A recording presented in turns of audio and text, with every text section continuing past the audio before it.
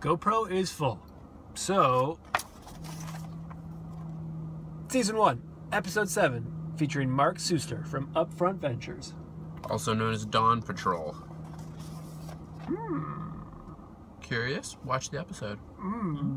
One, episode seven, featuring Mark. Why am I yelling? Season 1, Episode 7, featuring Mark Simpster from Upfront Let's, Ventures. let's sing it. Let's sing this one. How, what to do? Let's just see if we get it together. One, I'll come in. Three. Season 1, Episode seven, featuring Mark Suster From Upfront Ventures. Okay. One more. We ran out of room on our GoPro and we forgot to do the featuring sign. So, Featuring, season one, episode seven, featuring Mark Suster from Upfront Ventures. dot com.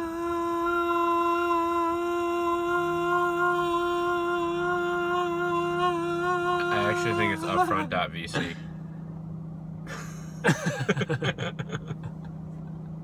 I'm getting a pickup truck. Why?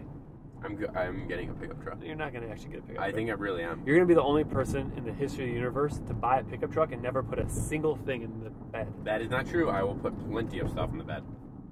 Like what? Golf clubs. Okay. Why don't you just drive a golf cart? Well, that only holds two golf clubs. You Get a supersized golf cart. I'm worried that people are going to see me in a pickup truck and think I'm more masculine than I am. Yeah, that's gonna be a real issue. People are gonna think you're massive. They're going to see me driving it and be like, whoa, like I must haul a lot of lumber. If you could only eat one food for every meal for the rest of your life, what would it be? I'm going to need, like, more parameters. One dish.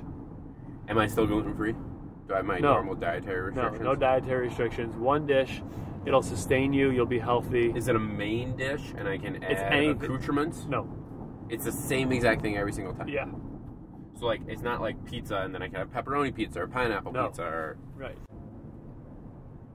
is it?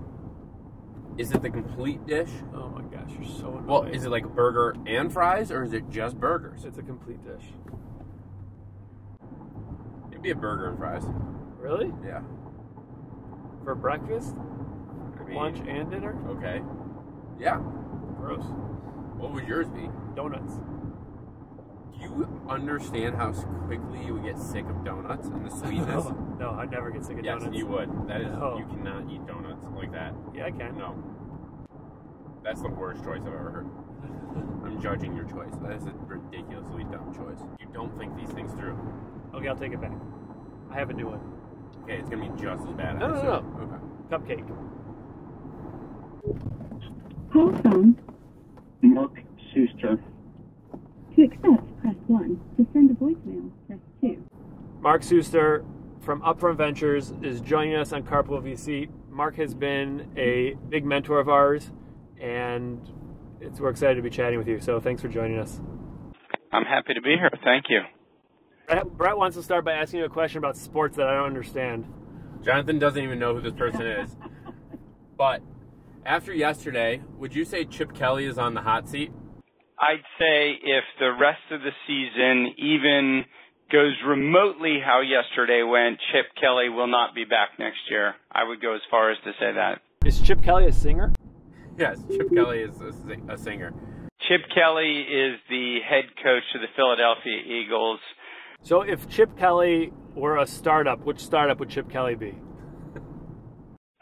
Uh, if Chip Kelly were a startup, it's hard to say right now after two games because I feel like I need to see 16 before I can properly judge him. But if Chip Kelly was a startup, I would say it was like the launch of Color. You know, it launched to a big thud. Uh, but I do believe that Color still had the right product idea had they stuck around for 16 games. So let's hope the analogy there holds.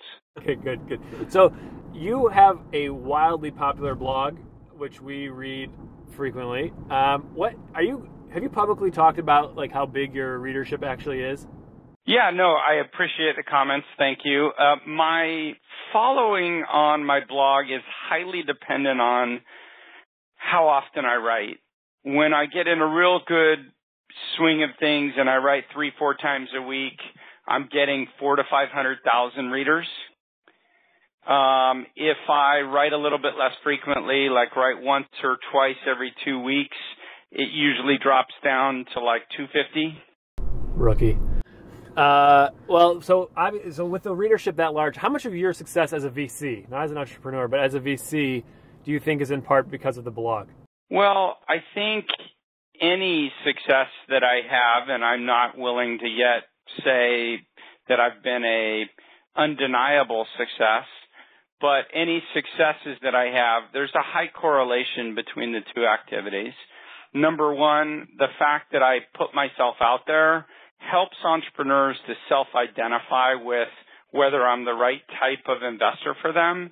People feel like they know you and I'm pretty authentic in what I write. I just kind of write what's on the top of my mind.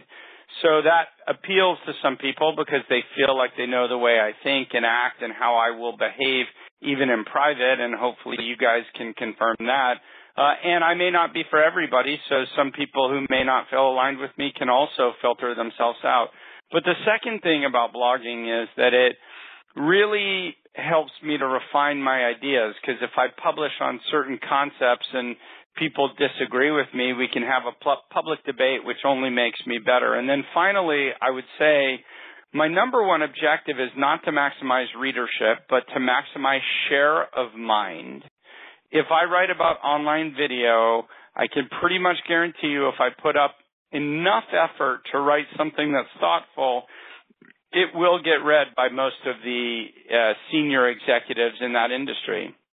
Um, so if I choose my topics well and I write about things that I'm passionate about, um, the right people will read it and I will be able to engage in a dialogue, which is really hard to do. So, one of the things you weren't always at a firm called Upfront. I believe uh, before Upfront it was GRP. Um, and so I'm curious about what the process of rebranding was like, and if uh, you can share some of the ideas that maybe are on the cutting room floor. So we wanted a more memorable name that we thought aligned with what our brand interests are. And so for us, Upfront represents the fact that what you see is what you get. So WYSIWYG. Number two is we're pretty direct. We tell you what we think. Sometimes that works well. Sometimes people don't like that, but as a general bias, we want to be direct with people and we're early stage investors and we want to stay early stage. So the combination of being direct, being early, what you see is what you get, um, that really resonated with us and that's why we changed brands. You, were there any names that were like high up there that you guys did not go with? We worked with a branding firm uh, that helped us not only with the name but with our identity and our logo. It's called Red Antler, and we had a really good experience with them. The first version, they came up with five names for us, and we didn't like any of them. They were pushing us really hard on a name called Dawn Patrol, uh, and what Dawn Patrol is, is it's the first people who go out on a beach in the morning. It's the people who are doing, they're on cleanup, they're on, they're the first surfers, they're fixing the beaches, whatever. They're the early risers. And what they liked about it was it represented go-getters who were up early and kind of maybe tied into the fact that we're based in LA. But the problem is like, I'm a 47 year old nebbish Jewish kid, right? Like I'm not the first kid on the beach. I'm lucky if I'm on the beach and not lathered up in too much sunblock. Um, and so it just didn't really fit with culturally who we are, so we didn't go with it. You are so long LA, and you talk about it frequently. Um, what, what's the one thing, though, and be honest, that you don't like about LA? And the answer cannot be traffic. Uh, LA is a fantastic place to develop a business. We are the second largest city in America behind New York. We have a really rich and diverse talent base here. Not just we graduate more engineers in LA than anywhere else in the country. We have more top 25 universities, engineering universities than anywhere else in the country. You know, NASA, JPL, you know, we launch all the rockets. All the rocket launches are designed initially here, not launched from here. Uh, we have the aerospace and defense sector, and of course, we're the creative capital of the world, uh, both in terms of writers, producers, actors, and so forth. And we have a long history of developing software companies as well.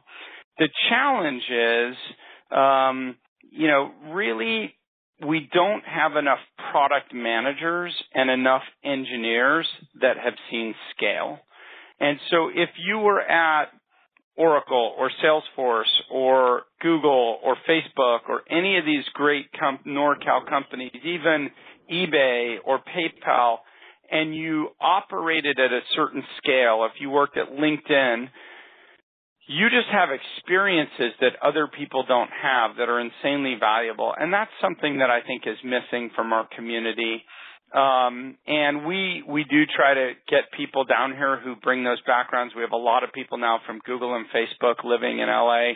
Uh, Snapchat is really the best thing that's happened to us because you now have a generation of young people at Snapchat who are developing experiences operating at that scale. Tinder is an amazing thing to happen to us because in Tinder, you have a team of people that saw that rapid growth. And I think all of the VP level people at those companies are going to go on in the next five years and start their own businesses. And that's going to be a huge positive for LA.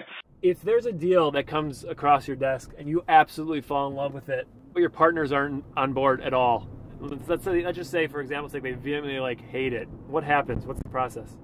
I think that's a phenomenal question. I wish more people asked questions like that. Uh, so, look, we have a belief, we have an ethos in our firm. We have five full-time partners, and we also have principals and associates who are very smart that we listen to. Um, if there's consensus and everybody loves a deal, usually I become a little more skeptical because obvious ideas tend to drive consensus and we operate on a principle of conviction.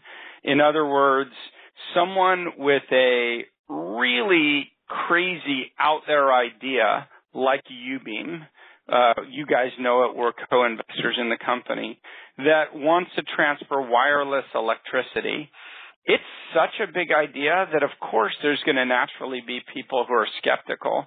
And we look for deals like that, but we're looking for partner conviction that the person who backs the deal uh, really believes in the entrepreneur, the team, uh, the market, the concept, has done enough due diligence to get comfort that this is a big idea. And I don't mind if we're wrong.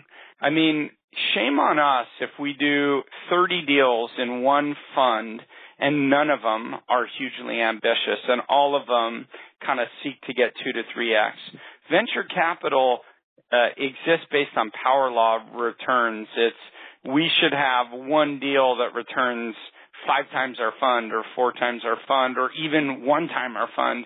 Um, and so you really have to go for ideas that some people just scratch their head. And I think in time, our best deals will come from that. Now, the question is the people who are against the deal, um, what is the basis of them being against it? We try to use that feedback to the partner to go away and test their conviction. Like, you know, if it's a husband and wife co-founding team and one person on the team has such bad experience with husband and wife teams and says you really need to spend more time trying to understand the personal dynamic between the husband and wife because we've had bad experience with that, then that partner takes it away to do due diligence on that topic and figure out if it's something they should care about. So I like uh, when there's controversy and we're looking for conviction and we're looking for you to stick your head, you know, your neck on the proverbial chopping block and say, if this deal struggles, if things go poorly, that you're going to roll up your sleeve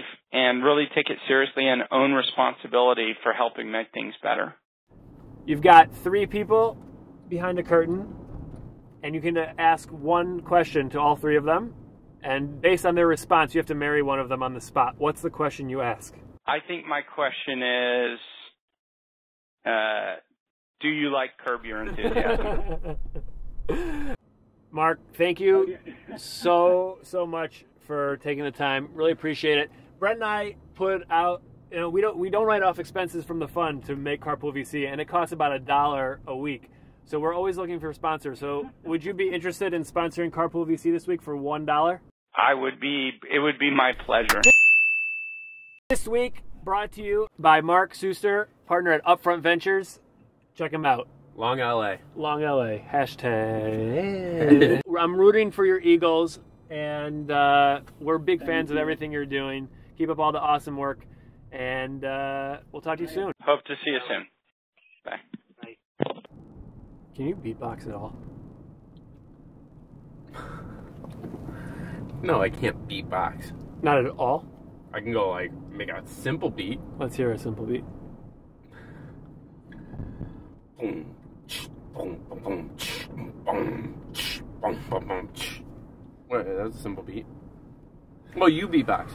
Go ahead. Let's hear your sick, multi-layered beats. Okay. Okay. Yours was really bad. Well, I didn't. I said no. The answer to the question was no. You said, "Can you beatbox?" I You said you, no. you said you could do a simple beat. that was a simple beat. simply bad. Okay, go.